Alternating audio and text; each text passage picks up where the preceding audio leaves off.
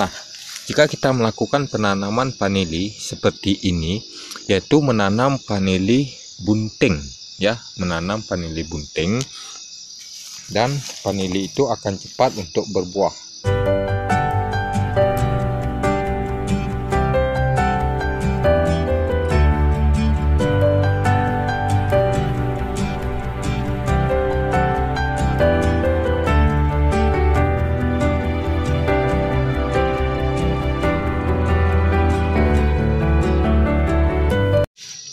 Baik, selamat sore. Jumpa lagi bersama saya Marguna Wirawan Channel. Pada kesempatan kali ini saya akan membagikan tutorial trik mudah menanam vanili agar cepat berbuah. Jadi, tonton terus video ini sampai habis. Jangan lupa dukungannya untuk Marguna Wirawan Channel agar tambah semangat lagi dalam membuat konten-konten yang bermanfaat seputaran pertanian dan perkebunan. Oke, kita langsung simak ke tutorialnya. Let's go. Keadaan vanili ya seperti ini ya teman-teman ya. Ini sulurnya sudah besar-besar ya, sudah besar-besar. Tapi karena cuaca itu lebih banyak ke curah hujan ya, ke curah hujan. Jadi penampakan vanili itu masih segar ya, segar. Hanya ada beberapa yang bisa mengeluarkan bakal bunga ya bakal bunga seperti ini ya. Nah untuk berbuah lebatnya itu susah juga ya. Nah untuk mempercepat kita melakukan pembuahan pada tanaman vanili apabila kita memiliki lahan yang masih kosong kita bisa manfaatkan sisa-sisa dari sulur yang menggantung ataupun yang rimbun ya kita setek kemudian kita tanam lagi agar vanili itu cepat berbuah. Nah, dan penyetekan dilakukan sebelum vanili itu berbuah ya. Dua bulan ataupun sebulan sebelum vanili itu berbuah, kita bisa melakukan penyetekan. Kenapa kita harus melakukan penyetekan? Kenapa kita tidak menunggu untuk musim berikutnya? Nah, karena vanili terlalu rimbun ya, biar cahaya itu bisa masuk juga ya terlalu rimbun seperti ini ya teman-teman ya. Itu kita melakukan penyetekan dalam artian untuk stressing juga ya. Kemudian sisanya kita tanam kembali.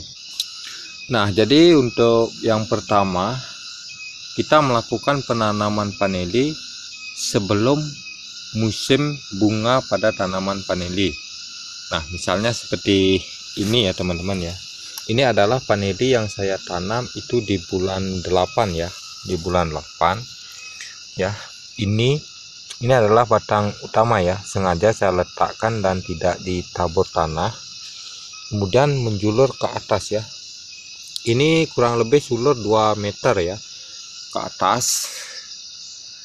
Nah di sini sudah muncul bakal tandan bunga ya bakal tandan bunga ini ya. Ini juga muncul. Yang ini juga muncul. Yang ini juga muncul ya. Ini ada empat bakal tandan bunga ya. Kemudian ini ujungnya digantung seperti ini.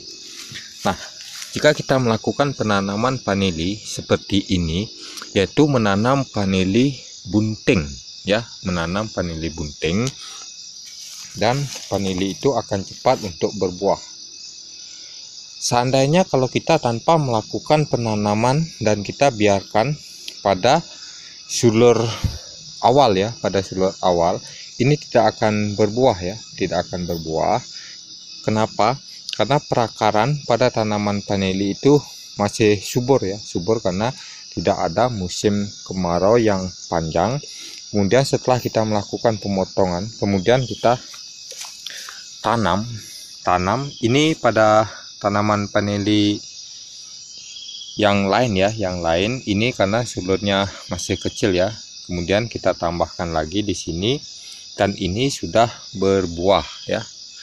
Nah apabila kita melakukan penanaman vanili seperti ini cepat untuk berbuah kita bisa lihat kondisi vanili apabila keadaan vanili masih segar seperti ini ya teman-teman. Segar ya segar. Ya kemudian akar itu sudah panjang ya sudah merambat panjang. Jadi untuk buah nantinya itu akan aman ya akan aman dan bisa berlangsung sampai polinasi sampai pembesaran pada buah paneli apabila tanaman ini layu layu kemudian perakaran belum sempurna otomatis nanti buah tidak bakalan jadi ya setelah kita polinasi bisa gugur. Nah, jadi seperti inilah kita melakukan penanaman paneli agar paneli itu cepat untuk berbuah. Sekian dulu ya video dari saya. Semoga video ini bermanfaat ya untuk teman-teman para pecinta tanaman paneli di mana pun berada. Bagaimana sih kalau kita menanam paneli agar cepat untuk berbuah? dan akibatnya akan seperti apa? Itu bisa dipahami ya buat teman-teman para pecinta tanaman panili karena tergantung cuaca juga ya cuaca. Kalau cuaca itu ekstrim panas kemarau itu tidak usah ya kita menanam panili bunting seperti ini. Itu akan rawan gugur. Kalau musim hujan itu aman ya Oke sampai jumpa lagi di video berikutnya. Selamat sore